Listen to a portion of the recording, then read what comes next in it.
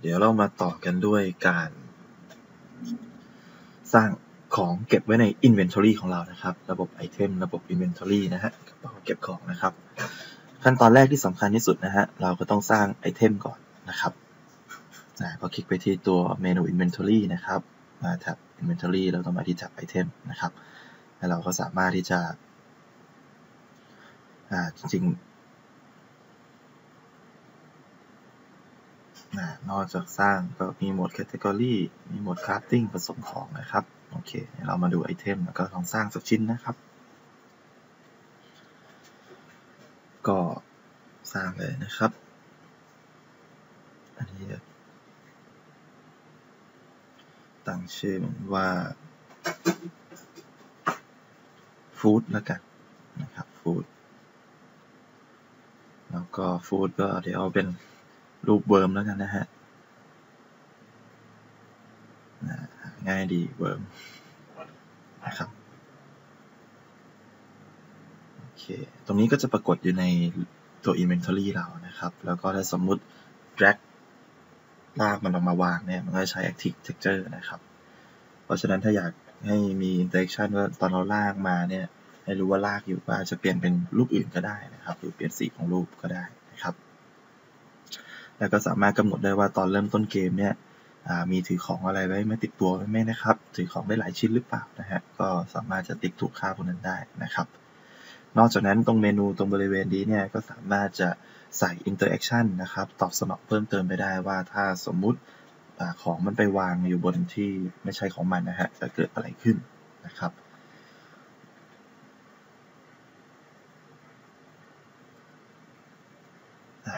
ตัว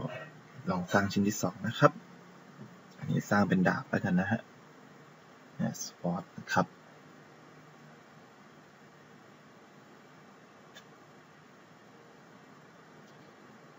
สังเกตว่า texture เขาจะให้มา 2 แบบนะครับ แบบไม่ active กับแบบ active นะฮะ ผมเอา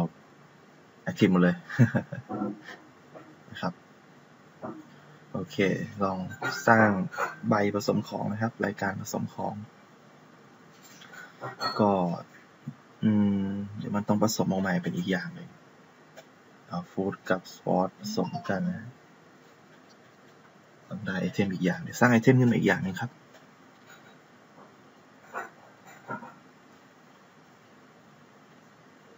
สร้างมาเป็นเลสสวอตแล้วกันนะครับ ได้มาจากการเอาหนังสีแดงผสมดาบนะฮะ ได้ดาบแดงเลยนะครับ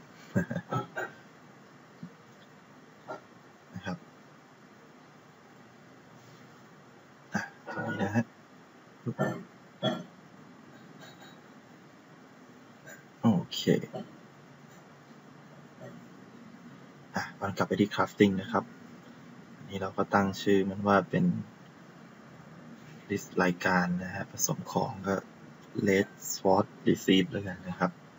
แล้วก็ผลลัพธ์ที่ได้ออกมานะครับ ก็ถ้าผสมปั๊บก็ได้ออกมาอัตโนมัตินะฮะ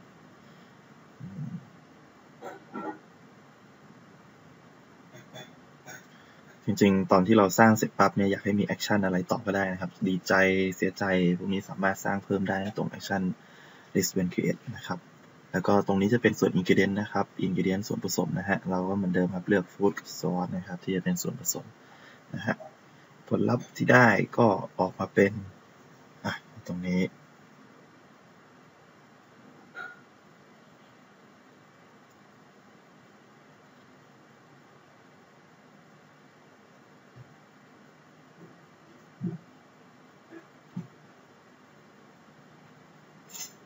โอเค เดี๋ยวเราจะ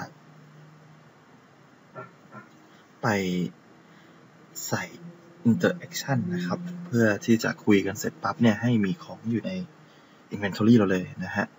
เดี๋ยวเราจะเลือกในส่วนของตัวทำงานแล้วกันนะครับนะถ้าเลือกช้อยเป็นทำงานเนี่ย จะได้อาหารมาเก็บไว้นะครับ ได้อาหารมาเก็บไว้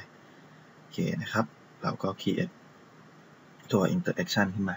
นะครับ ใน conversation choice ที่เราเลือกนะฮะ อ่า interaction ตัวนี้ก็เดี๋ยวตั้งชื่อให้มันเคลียร์หน่อย เดี๋ยวไปสับสนกับ ตัวอื่นนะครับอ่าตาม work แล้วกันนะฮะ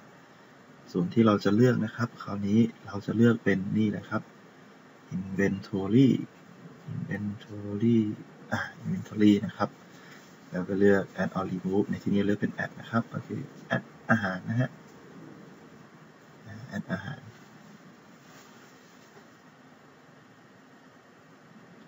โอ เค add อาหารเสร็จเรียบร้อยแล้วก็เปลี่ยนมุมกล้องนะครับ กลับมาที่มุมกล้องเดิมนะครับ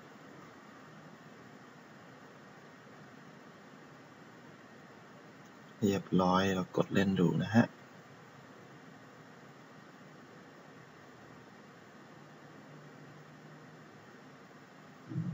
ครับคุยกันทำอะไรทำงาน